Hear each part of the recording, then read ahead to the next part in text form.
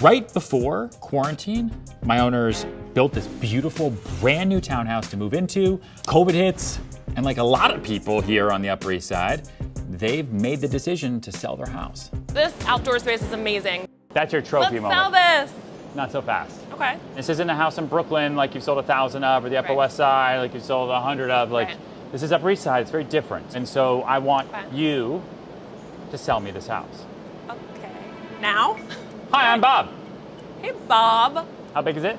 uh, 5,100 square feet, How many bedrooms and baths? five beds and five and a half baths. How wide is it? It's just under 20 feet wide.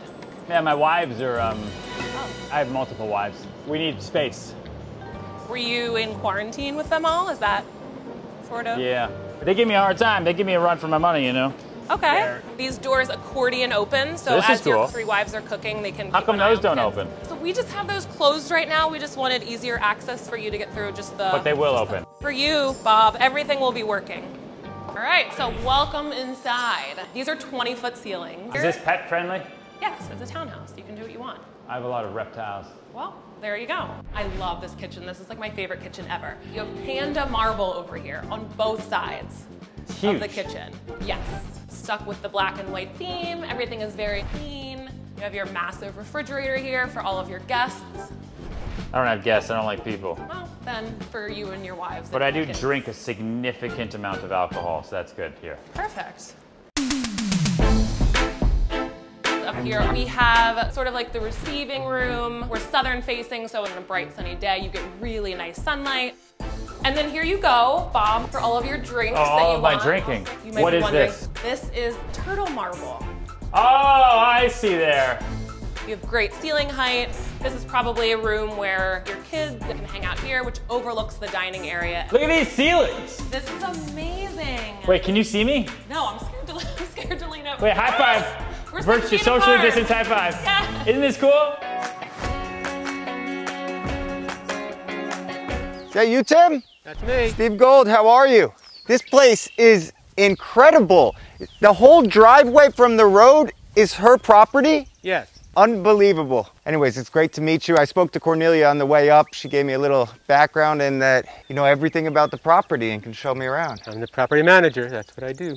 if you're comfortable, as long as we're outside, we can take the masks off. I'm fine with that. 456 acres. I think we could make sure we're six feet apart, we'll, right? We'll be all right. All right, well, show me around.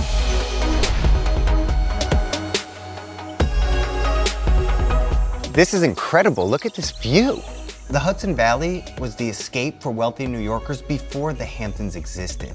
Prominent New York families like the Vanderbilts, the Rockefellers, they had massive estates to vacation and spend time away from busy New York City.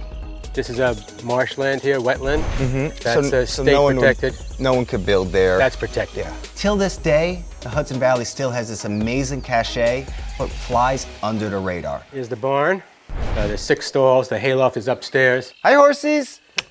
How many animals are on the property? We run about 35 animals, and they're all rescue animals. We've saved them, nursed them back to health, and uh, adopt them out if we can. So great. Hello. I'm gonna call this one Fredrik, that one Ryan, that's gonna be Tyler. Little donkeys. Can we kiss? Can we kiss? And here is where Socrates lives. Want a little strawberry? Oh my God. He's been with us about 10 years now. He's a sulcata turtle, African tortoise. You got your fruits and your veggies? These are our ducks. We have chickens. We'll take the buggy out maybe. I'll take you around the property. We can see the stream. Can I drive? Okay. And go straight ahead. Uh-oh. Scared? A little bit, yeah.